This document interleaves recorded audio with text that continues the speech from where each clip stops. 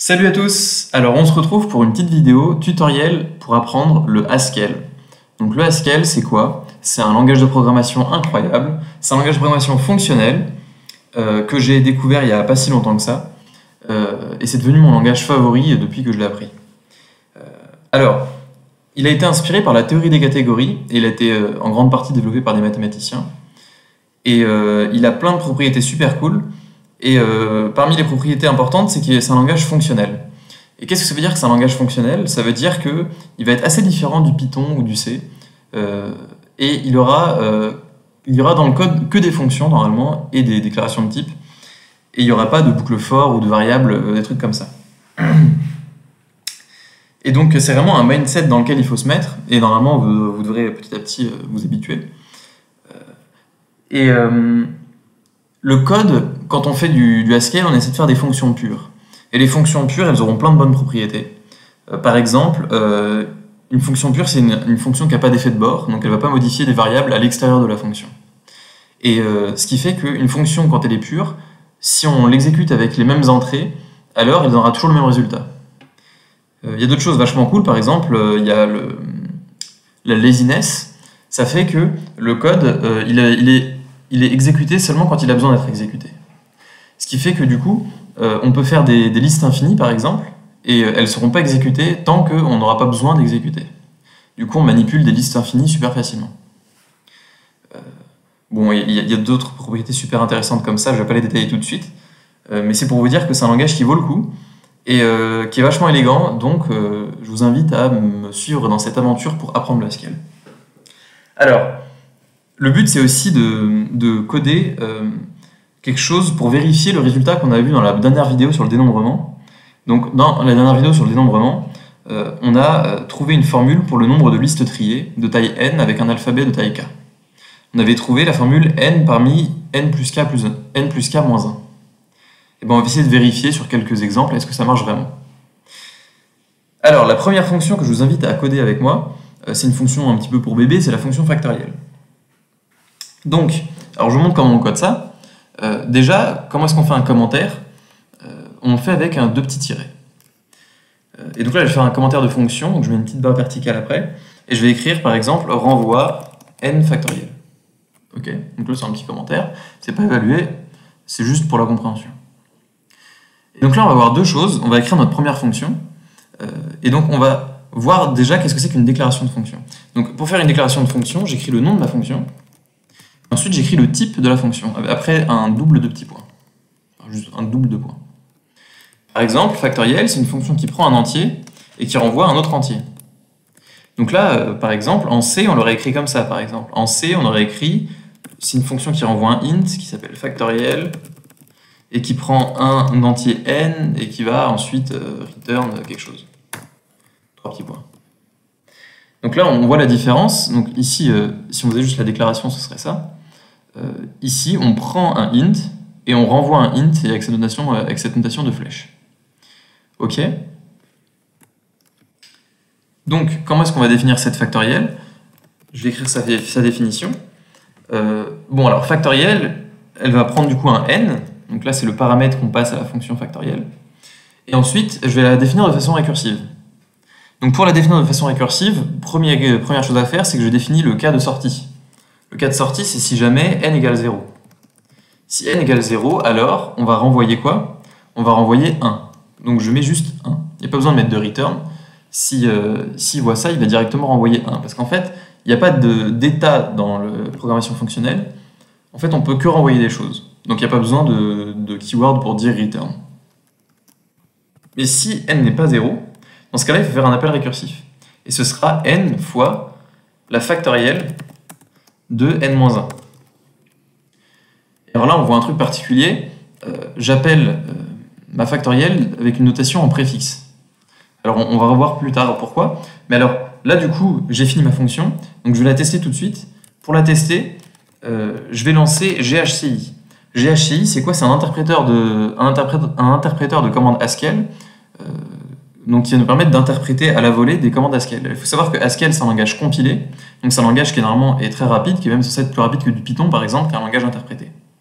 Donc là, je vais faire GHCI, et ensuite je vais lui donner le nom du fichier, et il va automatiquement apporter les fonctions que j'ai définies. Donc là, il n'y a pas eu d'erreur. Et donc si j'écris factoriel de 5, ça me devrait me donner 120 par exemple. On a bien 120. Et donc là, en fait, quand j'appelle une fonction, vous voyez que j'ai pas écrit comme en C, par exemple, euh, factoriel de 5 comme ça. J'ai juste écrit le paramètre de la fonction après. Et si je devais mettre des parenthèses, je les mettrais comme ça. C'est ce qu'on appelle la notation préfixe. Ça veut dire qu'on met d'abord le nom de la fonction, et ensuite on met les arguments les uns après les autres. Un autre exemple de notation préfixe, dans un langage classique, on pourrait écrire 5 plus 3, ça c'est la notation infixe. Mais si j'utilise la fonction plus, voilà, donc imaginons que ça soit, ça c'est la fonction plus, si je la mets entre parenthèses, c'est la fonction plus pure, eh bien si j'écris euh, comme ça, il faut que je l'écrive en préfixe, et du coup je pourrais écrire 5 plus 4 de cette manière. Et ça fait bien 9. Donc là il faut l'interpréter comme la fonction plus, et ensuite je lui donne comme argument 5 et 4. Ok? Euh, donc là, on a vu la notation préfixe et on a vu la factorielle. Mais alors la factorielle, là, je l'ai définie d'une manière qui me plaît pas trop. J'aime pas trop cette définition de la factorielle. Pourquoi? Parce qu'il y a un if, il y a un then, il y a un else, et finalement c'est pas très clair. Imaginons qu'on ait plusieurs if imbriqués, ça va faire un, ça va faire un joyeux bordel. Donc je vais essayer d'éviter tout ça, et je vais plutôt vous montrer une construction qui est vachement pratique en Haskell, ce qu'on appelle le pattern matching. Donc le pattern matching, c'est quoi? Ça va être ça. Ça va être le fait que là, j'ai pattern matché sur 0. Ça veut dire que si jamais j'appelle factoriel avec 0, et ben dans ce cas-là, il va euh, renvoyer directement 1. Donc comment ça marche? Ça veut dire que quand, on va appeler factoriel, il va aller regarder dans l'ordre, il va regarder la ligne 3 d'abord, il va dire est-ce que je peux matcher 0 avec ce qu'on m'a donné? Si c'est le cas, alors il va directement renvoyer 1, mais si c'est pas le cas, alors il va voir le cas d'après. Et là, c'est un cas qui absorbe n'importe quoi, c'est-à-dire que peu importe ce que je lui ai donné, il va le mettre dans n, et ensuite il va renvoyer ça. Donc là, euh, il faut voir que c'est un, cas qui va tout absorber, et ça va le mettre dans une variable, mais il ne faut pas l'entendre comme une variable habituelle comme en Python ou en C, parce que ici, cette variable, on ne pourra pas la changer. D'accord? Donc là, on a compris comment on fait une fonction en, programmation fonctionnelle et en Haskell, normalement. Euh, et je vais vous montrer du coup maintenant la fonction combinaison. Donc la fonction combinaison, elle va nous servir pour notre fonction, évidemment, euh, notre fonction S. Alors, la fonction combinaison, elle renvoie k parmi n. Jusque-là, tout va bien. Donc j'écris combinaison. Alors là, ça va être très important. On va voir deux choses super importantes. Mais la chose la plus importante qu'on va voir tout de suite, c'est la curification. Donc qu'est-ce que c'est que la curification Ça vient de Haskell Curie. Donc Curie, c'est le nom d'un mathématicien. Haskell, c'est son prénom. Et d'ailleurs, le, nom du langage vient de ce mathématicien. Euh, Haskell Curie, il a défini euh, les fonctions. Alors je, vous, montre tout de suite qu'est-ce qu'il a défini. Donc là, combinaison, ça prend deux entiers et ça en renvoie un troisième. Ça prend k et n et ça renvoie k parmi n. Donc là, je pourrais écrire par exemple euh, int int. Donc là, je prends une paire de int et je renvoie un int. Donc là, c'est ce qu'on fait intuitivement et c'est ce qu'on fait en C par exemple. En C, ou en, Python d'ailleurs, mettons en Python pour ceux qui connaissent le Python, j'écrirai par exemple def de combinaison de euh, k parmi n et ensuite j'écrirai ma fonction en dessous. Donc là, je prends une paire de nombres et à la fin, je ferai mon corps de fonction, euh, blablabla, et à la fin, je return euh, quelque chose, x. Donc je, prends deux entiers et je renvoie un entier. Bon. Curie, il a été malin, et il s'est dit, ok, une fonction, elle peut prendre deux arguments et me renvoyer un troisième, mais j'aimerais bien exprimer toutes les fonctions comme des fonctions à un seul argument. Et comment est-ce que je peux faire ça? Eh bien, en fait, je peux faire une fonction qui prend un entier et qui va me renvoyer une autre fonction qui prend un autre entier et qui renvoie le résultat. Alors je vais vous donner un exemple. Par exemple, le plus, la fonction plus, quand elle est définie, elle est aussi définie sous forme purifiée. C'est-à-dire qu'elle prend un entier et elle renvoie une autre fonction qui prend un entier et qui renvoie un entier. Si bien que, par exemple, je peux appliquer plus à 5 et ça va me donner quoi? Ça va me donner une autre fonction qui va ajouter 5 à n'importe quoi. Du coup, après, je prendre cette fonction-là et l'appliquer à 4, et là, ça me renverra 9. Ok? Donc là, on va voir ça tout de suite dans GHCI, par exemple, avec le plus. Euh, si je fais plus appliqué à 5, j'ai une fonction qui, ajoute 5 à n'importe quoi. Donc là, si je demande le type de ce truc-là, il va me dire que c'est une fonction qui prend un, nombre et qui me renvoie un autre nombre. Euh, oubliez le num a, ça veut dire que a est un nombre. Ok. Et du coup, je peux appliquer cette fonction plus 5 à n'importe quoi, par exemple à un 9, et ça me donnerait 14. Ok. Alors, un autre exemple, si je fais avec moins, moins en premier argument, bah, si je mets par exemple moins 5, ça veut dire que ça va me renvoyer une fonction qui va prendre un nombre et qui va renvoyer 5 moins ce nombre. Donc là, si je fais moins appliqué à 5, le tout appliqué à, je sais pas, moins 9, ça va me donner 4. Ça va me donner moins 4. Pourquoi Parce que ça va faire 5 moins 9. Ok Alors, à quoi ça sert de faire ce truc purifié là Et bien en fait, ça sert à appliquer partiellement nos fonctions. Parce que du coup, je peux juste écrire plus 5 et ça fonctionne, c'est une expression valide, et en fait, c'est une fonction qui ajoute 5 à n'importe quoi. Donc c'est vachement pratique en fait. Parce que je peux, je peux créer des fonctions super facilement. Euh, là, j'ai une fonction par exemple qui ajoute 5 sans avoir à faire de lambda expression ou de définir mes propres fonctions, etc. Juste en appliquant partiellement ma fonction, j'ai défini euh, une fonction qui ajoute 5 à n'importe quoi. Voilà. Donc, on va, par réflexe en Haskell, toujours écrire nos fonctions sous forme purifiée. Et d'ailleurs, Haskell nous rend la chose facile parce qu'en fait, les, flèches sont associatives à droite. Donc en fait, j'ai même pas besoin de mettre ces parenthèses, elles sont implicites. Ok.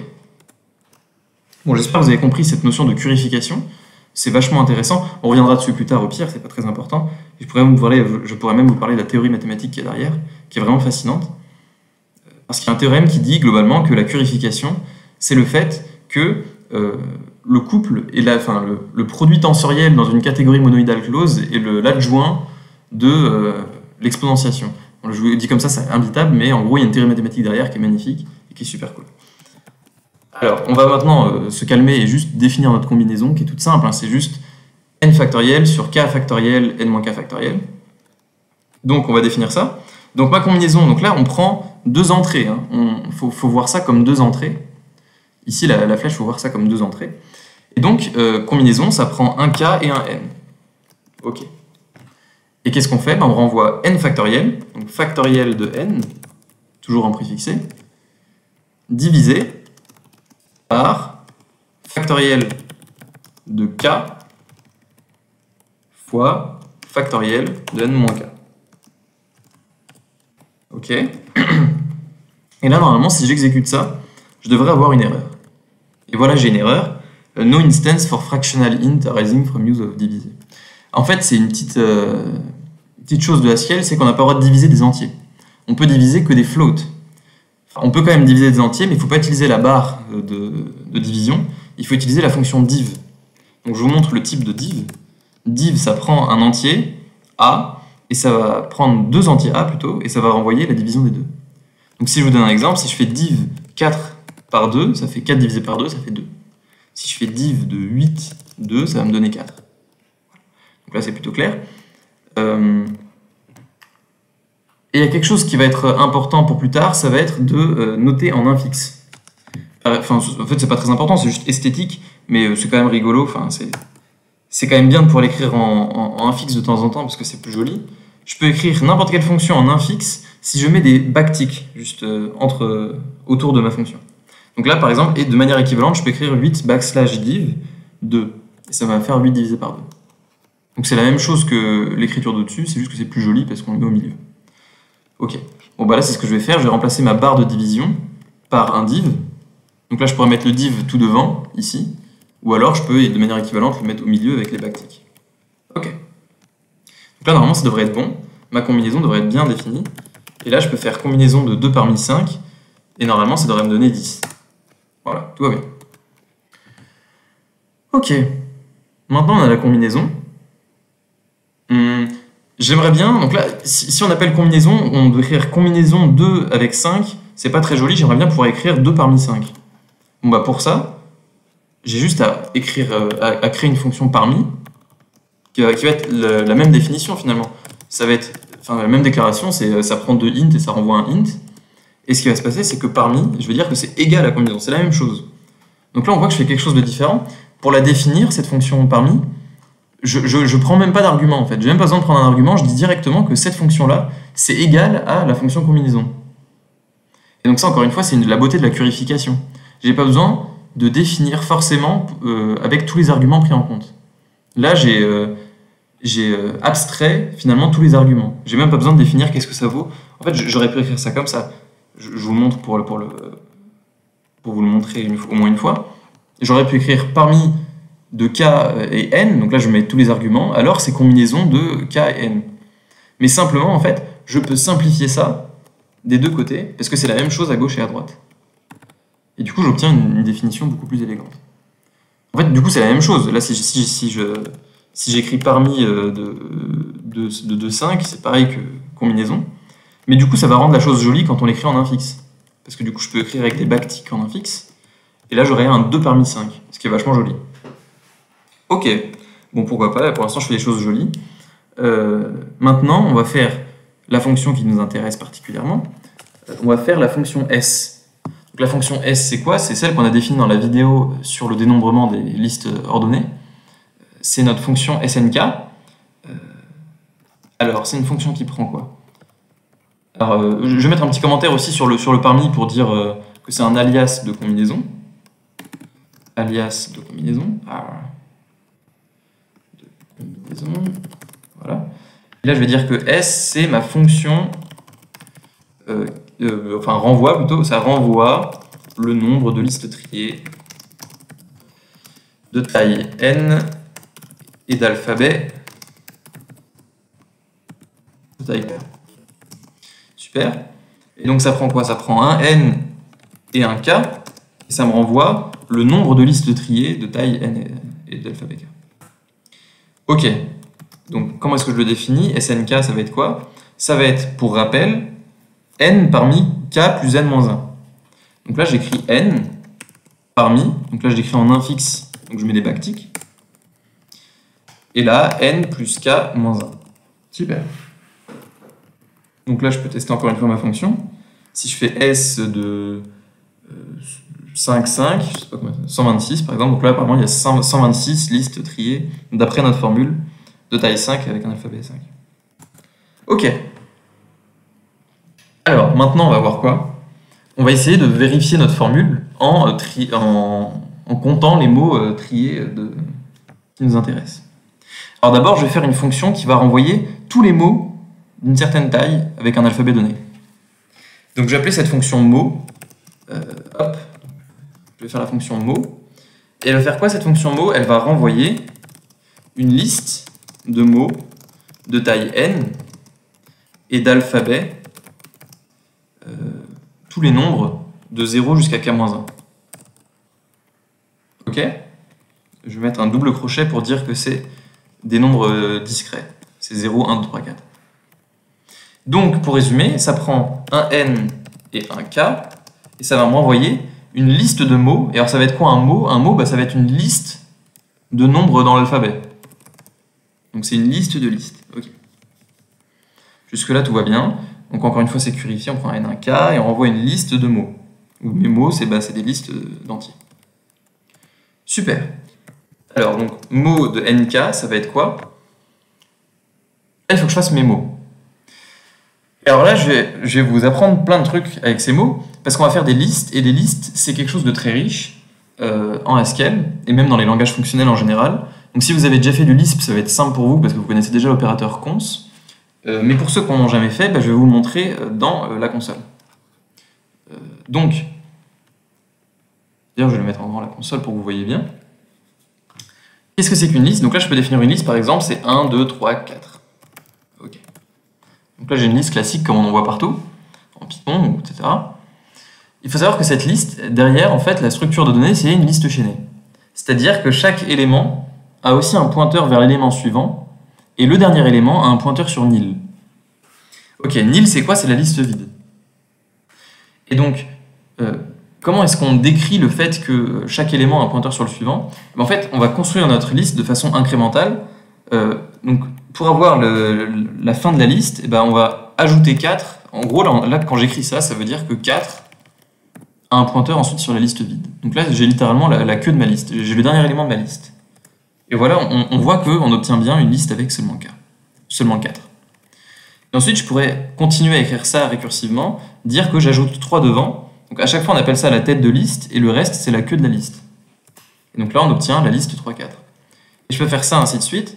Donc là, 2, 2 points, etc. Pouf, ça fait 2, 3, 4. Et 1, 2 points. Ça nous fait 1, 2, 3, 4. Donc en fait, quand on lit la liste 1, 2, 3, 4, c'est juste une version embellie de ça. En fait, c'est ça qu'on devrait voir si on regardait à l'intérieur de l'ordinateur. Ok. Donc ce, deux points, il est super important. En Lisp, il s'appelle cons, et c'est le constructeur de la liste. Et euh, ce, ce truc-là, c'est super important aussi, c'est la liste vide. D'accord. Donc, si je dois montrer le type de la fonction de points, en fait, c'est un constructeur, donc ça va prendre quelque chose, ça va prendre quelque chose et une liste. Donc là, si je regarde ici, ça prend quelque chose et une liste, et ça va me renvoyer une liste avec ce quelque chose en tête. Donc, si je regarde le type, c'est exactement ça, ça prend quelque chose, une liste de quelque chose, et ça me renvoie une autre liste de quelque chose où euh, le quelque chose a été mis en tête. Ok, ça marche. Donc là, on a, on a un peu d'idée de qu'est-ce que c'est qu'une liste. Alors, quelque chose de... Du coup, on peut prendre la tête de liste, c'est avec la fonction head. Donc si je prends la tête de liste de 1, 2, 3, 4, hop, ça me renvoie 1. Donc là, en fait, ça prend le dernier la dernière construction, ça prend le truc de gauche. Et si je demande la queue, si je demande la queue, il va me renvoyer tout le reste, tout ce qui est à droite du, premier deux points. Donc ici, 2, 3, 4. Donc ça, c'est les opérations de base sur les listes. Euh, mais en réalité, on n'utilise pas souvent ça, on utilise des trucs plus haut niveau. Et je vais vous montrer comment on fait des listes par compréhension. Alors, pour faire une liste par compréhension, alors je vais vous montrer par exemple comment est-ce qu'on fait la liste des nombres pairs. Euh, si je liste des nombres pairs de 0 jusqu'à 20, eh ben, je peux faire 2 fois k, pour k qui va de 0 jusqu'à 10. Là, j'aurai tous les nombres pairs de 0 jusqu'à 20. Exclu le... Ah non, inclus.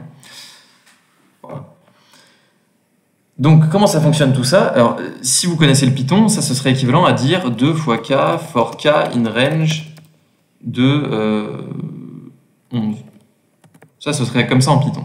Même si ça marche pas parce que c'est du Haskell, mais euh, ce serait comme ça en Python. Donc là, qu'est-ce que ça veut dire? Ça veut dire que c'est un peu comme une notation ensembliste. Quand vous faites des ensembles, vous pouvez dire, bon, bah, je veux l'ensemble des 2 fois k pour euh, k appartenant euh, à l'ensemble de 0 jusqu'à 10. Un truc comme ça. Bah là, c'est exactement la même chose. Il y a toujours cette barre verticale. Il y a le, la, flèche à l'envers, ça veut simplement dire que k prend toutes les valeurs dans cette liste.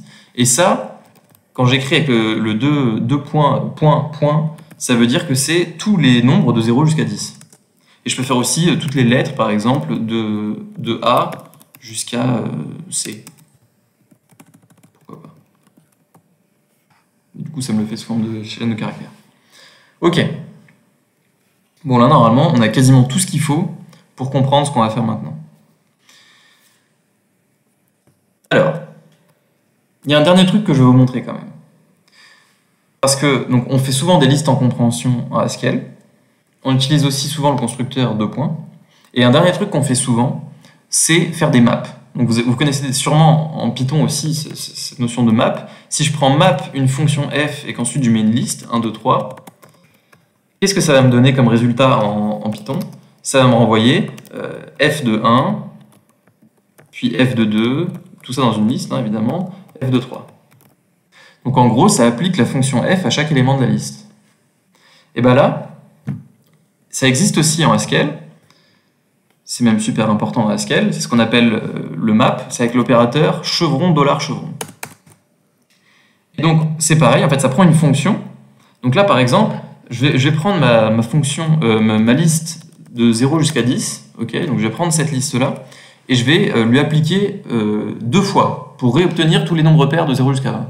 C'est une façon alternative d'obtenir tous les nombres pairs jusqu'à Donc je prends une fonction deux fois. Donc voilà, vous voyez, j'ai appliqué partiellement à la fonction fois 2, ce qui fait que là j'ai une fonction qui renvoie deux fois. Et je vais la mapper sur tous les éléments de ma liste, 0 jusqu'à 10. Et là j'obtiens tous les nombres pairs jusqu'à 20. Donc ça c'est super important aussi le map, on va faire beaucoup de maps. J'adore cet opérateur, il est vraiment pratique et il fait du code très élégant à la fin. Et on verra après que du coup cet opérateur de map, il a un lien avec les foncteurs, et on verra plus tard qu'est-ce que c'est que ces foncteurs avec la théorie des catégories. Ok. Donc là maintenant, on a tout ce qu'il faut vraiment pour faire le code de mots. Alors, comment est-ce qu'on fait ce code pour mots? On va le faire de façon récursive. Alors, le premier cas, ça va être le cas où on doit faire un mot de taille 1. Parce qu'un mot de taille 1, Qu'est-ce que c'est? Si on y réfléchit bien, euh, imaginons que j'ai un alphabet, ça va être 0, 1, 2 par exemple. Et bien si je vois les, mots de taille 1 de 0, 1, 2, ça va être la, la liste qui contient que 0, la liste qui contient que 1 et la liste qui contient que 2. C'est ça que je veux finalement. Et donc comment est-ce que j'ai obtenu ça? Eh bien si on, on remarque, j'ai juste mis tous mes éléments dans une liste. Une liste qui contient que ça. Ok. Mais alors ça, si vous vous souvenez bien de tout à l'heure, on avait vu comment on avait fait ça pour 4. On peut mettre un élément dans une liste en, construisant une liste à partir d'une liste vide. Ok, donc en fait c'est ça que je veux faire. Si par exemple je, je fais cet opérateur que j'applique à 0, donc je, je, construis sur 0 et la liste vide, j'obtiens bien la liste qui contient que 0. Et si je le mets, si j'applique partiellement mon opérateur de construction à la liste vide, pareil, j'obtiens 0 dans une liste. Donc là j'ai une fonction qui me permet de construire une liste avec un seul élément dedans quand je l'applique à un élément. Maintenant, je vais faire ça sur toute ma liste. On a vu qu'on pouvait faire des maps pour ça. Donc là, je prends ma liste, euh, je prends ma fonction, je veux dire, que j'applique à ma liste, 1, 2, 3, et boum, j'obtiens tous les éléments dans une liste. Donc c'est exactement ce qu'on va faire. Je vais recopier ma fonction, enfin mon code là, tellement il est bien, et je vais juste remplacer 1, 2, 3 par 0 jusqu'à k-1. Ok donc là, euh, pour obtenir euh, mon alphabet de 0 jusqu'à k-1, bah, je le crée comme ça avec l'opérateur point point, comme on l'a vu tout à l'heure. Et euh, je map ma fonction, comme on l'a vu juste à, l'instant. Et sinon, dans le, cas, dans le cas où on a un mot de taille n, bah ici on va le faire avec une liste en compréhension, et de manière récursive encore une fois.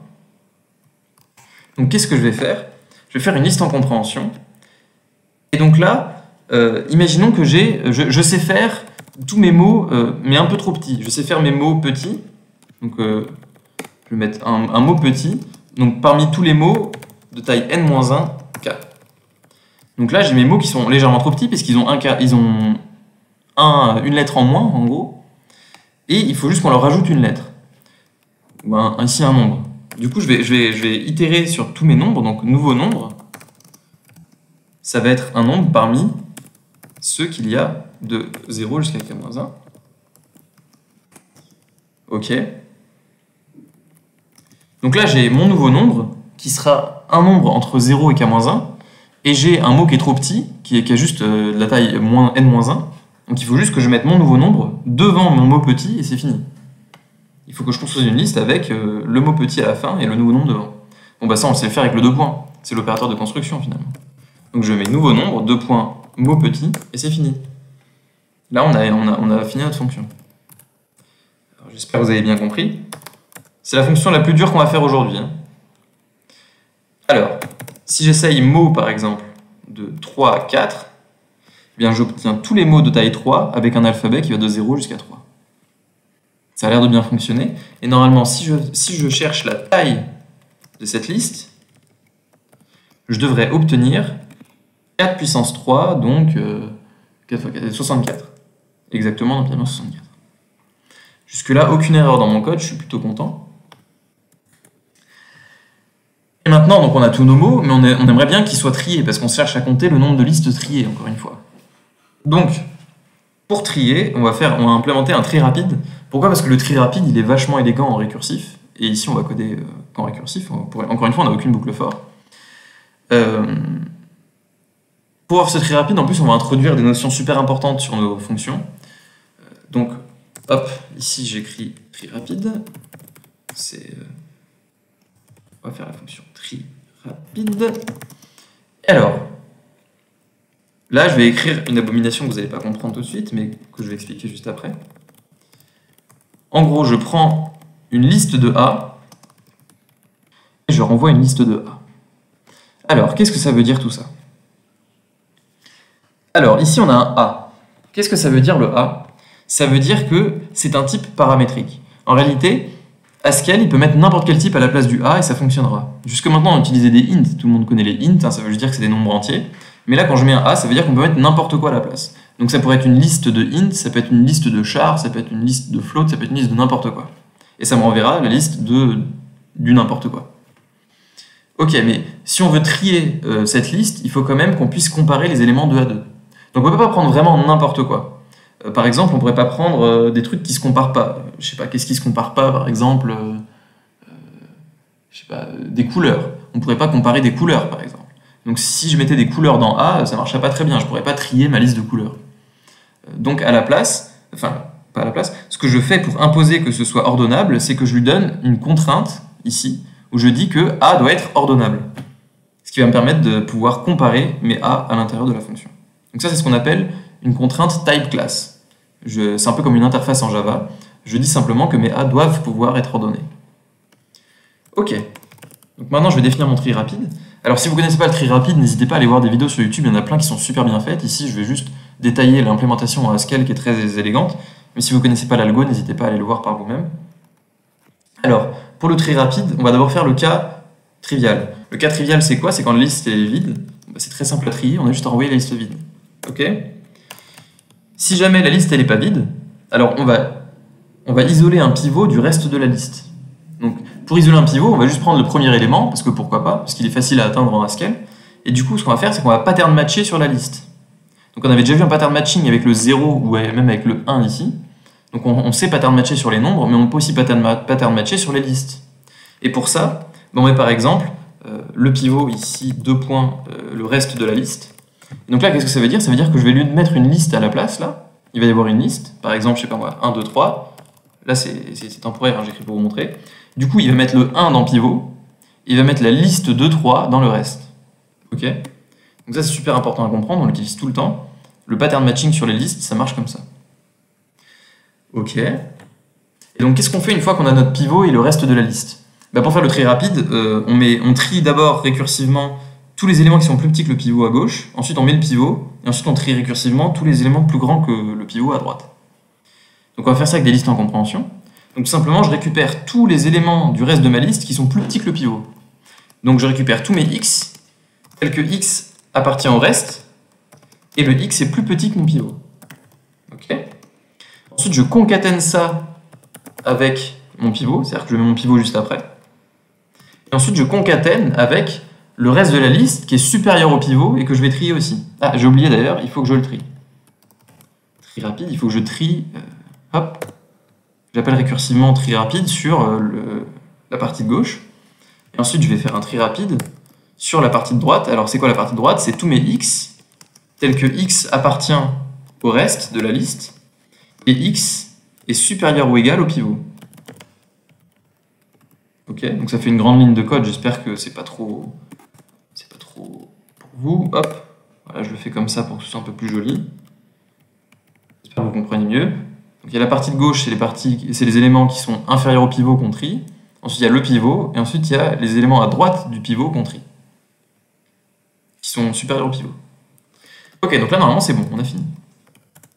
Si je, teste mon tri rapide sur, euh, je sais pas moi, 5, 1, 3, 8, 10, 3, hop, j'obtiens 1, 3, 3, 5, 8, 10, c'est bien trié. Super, donc maintenant on a notre tri rapide, qui vous l'avouerez est super élégant en Haskell. Et bien maintenant on va pouvoir trier nos mots. Et donc pour ça on va voir un truc, encore une fois intéressant, on va voir les, les filtres et les fonctions anonymes. Donc pour cette fonction, on va devoir renvoyer euh, tous les mots triés de taille n euh, avec un alphabet de taille de taille k. Ok Donc pour ça, on a déjà. Alors déjà, c'est quoi la, signature de notre fonction? Ça va prendre un n et un k et ça va me renvoyer une liste de mots. Donc une liste de listes de int, puisqu'un mot c'est une, liste de int. Donc on a la même signature que pour mot. Et en fait, quand on y réfléchit bien, ah, j'ai oublié mot trié, hop, mot trié. Euh, et si on réfléchit bien, euh, on, va, on va juste retirer certains mots. On va retirer les mots qui sont pas triés. Donc en fait, on va les filtrer. Donc mot trié de nk, on va, filtrer avec la fonction filter. Alors je vous montre c'est quoi le type de la fonction filter. Filter, ça prend une fonction de test et une liste d'éléments, et ça va renvoyer une liste de ces mêmes éléments, mais triés. Donc en fait, on devra retirer tous les éléments euh, qui n'évaluaient pas à vrai, qui évaluaient à faux. Alors je donne un petit exemple pour montrer que c'est tout simple. Si par exemple je teste euh, avec la fonction égale égale à 5. Donc ça, c'est une fonction qui, renvoie vrai seulement si l'élément est égal à 5. Et que je fais une liste avec 1, 2, 3, 4, 5, 6, 5. je devrais garder que les deux 5. Et voilà, je garde que les deux 5. Bon, ça, c'est tout simple. Donc ici, j'ai appliqué partiellement le 5 à la fonction égale égale, encore une fois, pour vous montrer que la purification, c'est vachement pratique. Et du coup, je vais utiliser cette fonction filter. Euh, et donc là, il me faut une, fonction qui va me dire est-ce que le mot il est trié ou pas? Bon, j'ai la flemme de faire une fonction à part entière rien que pour ça, donc je vais la définir inline. Euh, je vais la définir avec une fonction anonyme. Donc vous avez déjà peut-être fait des fonctions anonymes en Python. En Python, on écrirait euh, lambda de x, etc., etc. Ici, on n'a pas besoin de mettre lambda, on met juste un, backslash, ça ressemble à un lambda. et c'est juste pour dire que c'est une fonction anonyme. Ça vient du lambda calcul, si vous connaissez. Et donc là, ensuite, je mets mon argument. Donc ça va être un mot, je vais prendre un mot. Et à ce mot, j'associe quoi? Eh bien, j'associe est-ce que euh, le mot est égal au tri rapide du mot? Ok? Donc là, qu'est-ce que ça veut dire? Ça veut dire, si le mot il est égal à lui-même quand il est trié, bah, ça veut dire qu'il était déjà trié. Et cette flèche, c'est ce que ça veut dire que je prends un mot et je renvoie ça. Ok? Donc là, j'ai ma fonction qui va permettre de filtrer nos éléments. Et ensuite, qu'est-ce que je veux filtrer? Bah, Je veux filtrer tous les mots. Donc qu'est-ce que je fais? Bah, Je mets euh, mot de nk pour obtenir tous les mots et ça, je vais les filtrer avec ça. Donc là, ça doit être bon normalement. Alors je vais tester ma fonction. Mot trié de 5,5. Là, j'ai tous les mots triés de taille 5 avec un alphabet allant de 0 jusqu'à 4. Pourquoi pas et donc maintenant, en fait, finalement, on a, tout ce qu'il faut. Puisque maintenant, on peut vérifier s'il y a bien le bon nombre de mots triés par rapport à notre fonction S. Donc là, par exemple, si je reprends ça et que je prends la taille de cette liste, j'obtiens 126. Et si vous vous rappelez, quand je faisais S de 5,5, ça faisait bien 126. Et vous savez quoi, je vais même faire une petite fonction pour tester sur quelques éléments. Donc là, je vais faire, hop, teste la fonction S pour quelques quelques valeurs de n et de k. Ok. Donc là, je vais faire test. Ça va prendre un n et un k. Et ça va me renvoyer un booléen qui indique si tout s'est bien passé. Et donc là, par exemple, je fais test de nk. Ça va être une liste. Euh, je vais faire une liste de booléens pour l'instant. Par exemple, euh, je vais demander est-ce que s est-ce que snk est égal égal à la taille de motrier de nk pour n allant de 0 jusqu'à de 1 jusqu'à n. Ah, là vous allez voir, il y a, une collision de, mots avec les n, puisque les, les, n ont les mêmes noms, donc je vais l'appeler plutôt i et j. Ici, I et J, donc I allant de 1 à N, J allant de 1 à N aussi, euh, de 1 à K plutôt. Donc là, ça va me donner une liste de booléens qui disent est-ce qu'à chaque fois S et J est bien égal à la taille des motriers.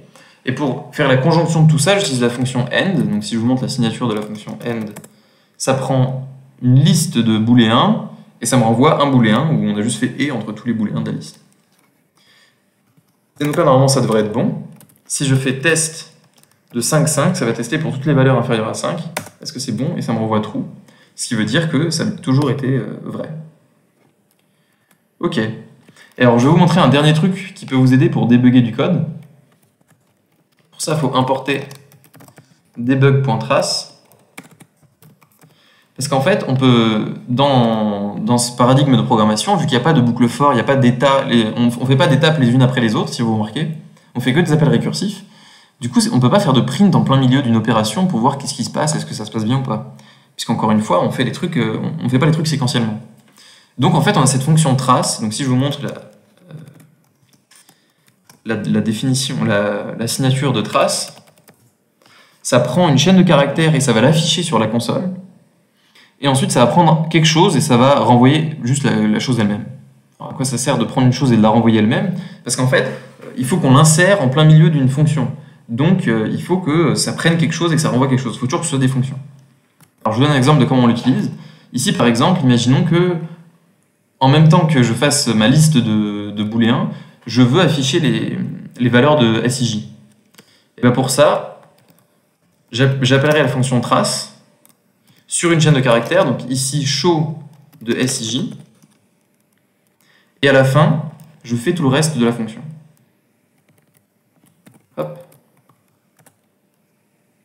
Donc là, il n'aime pas, il y a une erreur, et donc là, euh, il ne comprend pas le type, etc. En général, quand il y a une erreur où il ne comprend pas le type, ça veut dire quoi? Ça veut dire qu'on a fait une, une bêtise dans l'appel, et ici, effectivement, j'ai fait une bêtise dans l'appel, parce qu'en fait, l'appel de fonction à la précédence est la plus haute, ça veut dire quoi? Ça veut dire qu'ici, il met les parenthèses comme ça. Donc en fait, il fait show de s, s c'est une fonction, hein. donc il essaie d'afficher la fonction, la fonction s, et ensuite il appelle i et j dessus, et ça fait aucun sens, puisque ça fait une chaîne de caractères, et du coup, on peut pas appeler une chaîne de caractères sur i et j. Donc en fait, il faut que je mette mes parenthèses correctement, c'est-à-dire qu'il faut que je mette les parenthèses ici. Hop. Et là, ça fonctionne. Et du coup, si j'appelle à nouveau test sur 5.5, il m'affiche les valeurs de SIJ. D'ailleurs, il m'en affiche pas beaucoup, ce qui m'étonne. On reviendra dessus après. Hmm. Pour l'instant, j'essaie de, de vous montrer un autre truc. En fait, on n'avait pas besoin de mettre ces parenthèses-là si on mettait un dollar. Mais moi, je mets souvent un dollar quand je fais un trace. Le dollar, ça veut simplement dire tout, ce qui suit après, il faut l'évaluer en dernier. Donc en gros, ça permet de séparer euh, le reste de ce qui est après de ce qui est avant. Ok, ça sert que le dollar a l'opérateur de précédence le plus bas. Donc là, si je recommence, ça donnait la même chose. Ok. Maintenant, il faut juste comprendre pourquoi est-ce qu'il m'en affiche si peu. Alors pourquoi est-ce qu'il m'en affiche si peu? Euh, Alors on pourrait se dire peut-être qu'il en, en saute parce qu'il n'a pas besoin de tous les évaluer, mais en fait il a besoin de tous les évaluer théoriquement. Euh, donc j'essaie de comprendre pourquoi est-ce qu'il n'affiche pas tout. Ici, il est bien censé balayer i de 1 jusqu'à n et j de 1 jusqu'à n. Alors ce que je vais faire, c'est que je vais augmenter mon, mon debug, je vais rajouter quelque chose d'autre, je vais aussi vouloir, par exemple, show i. OK Et je vais aussi afficher, d'ailleurs cette parenthèse est en trop du coup, je vais aussi show j. Je vais afficher mon i et mon j. Ah, J'ai oublié de vous dire que show, c'est quoi? C'est une fonction qui prend n'importe quoi, qui est, qui est showable, et qui, et qui euh, le transforme en string. Par exemple, si je show 5, euh, ça m'affiche, enfin ça me renvoie une chaîne de caractères euh, qui affiche 5. Quoi. Ok. Donc ici, j'affiche i, j'affiche j, enfin je transforme i en chaîne de caractères, je transforme j en chaîne de caractères, et je transforme, je transforme s et j en chaîne de caractères. Et du coup, avec ces chaînes de caractères, il faut les concaténer. On ne peut pas juste les superposer les unes à la suite des autres. Et euh, je vais même mettre une virgule entre pour que ce soit plus joli. Et je vais mettre une petite flèche, hop, pour que ce soit encore plus joli. Donc là, je réessaye. Ah, j'ai fait une erreur. Et donc là, encore une fois, il ne comprend pas le type, ça veut dire que j'ai fait une erreur de parenthésage. Ici, il, fait encore une fois trace de show i et il s'arrête là. Et donc il, ferme la parenthèse avant le plus plus, ce qui ne marche pas du coup. Donc il faut bien lui dire que trace, c'est trace de tout ça. Voilà. Ça fonctionne. Et si je refais test de 5.5, il me montre que c'est 1 A très important, très intéressant. Donc là, en voyant les i et les j, on remarque que les i et les j prennent que les valeurs 1 et 5 et pas les valeurs entre. Et là, ça, réveille mon nez parce que je sais pourquoi il fait ça. Regardez, ici, j'ai fait une erreur. J'ai mis une virgule plutôt que les deux points. Du coup, quand on y réfléchit, si je mets 1,5, ça veut dire qu'il va juste renvoyer 1 et 5. Alors que si je mettais le deux points, ça mettait tous les nombres entre. C'est ça que je voulais faire. Donc là, il manque le point point. Et donc là, si je réexécute, ça devrait bien fonctionner. Et voilà, c'est beaucoup mieux. Ici, il m'affiche bien euh, toutes les valeurs de SIJ pour I et J allant de 1 jusqu'à 5. Bon bah c'est super, ça fonctionne bien. Alors, n'hésitez pas euh, chez vous à prendre en main le Haskell. Il suffit d'installer GHC, euh, vous pouvez trouver ça facilement sur internet, sur le site de Haskell, sur le site que vous trouvez facilement sur votre moteur de recherche favori. Et lancer GHCI, essayez de jouer un petit peu avec et euh, essayer de définir la fonction Fibonacci, telle qu'on lui donne un nombre, et Fibonacci doit renvoyer euh, le, nombre à la séquence de Fibonacci euh, à cet endroit-là. Par exemple, si je vous donne 5, il faut que vous envoyez le cinquième nombre de, Fibonacci. Donc il y a besoin de récursivité, donc vous, devrez vous amuser un petit peu. Et, euh, et voilà, n'hésitez pas à mettre vos solutions dans les commentaires. Euh, J'espère que vous avez apprécié cette vidéo. Euh, J'en ferai d'autres pour vous expliquer le Haskell, ne vous inquiétez pas si c'est passé un peu trop vite. Il y, aura plein d'autres vidéos pour parler de tout ça. J'espère que vous avez apprécié. N'hésitez pas à mettre un commentaire, à mettre un pouce bleu si vous avez aimé. Et euh, rejoignez-moi dans la prochaine vidéo on fera encore un petit peu de Haskell. Allez, salut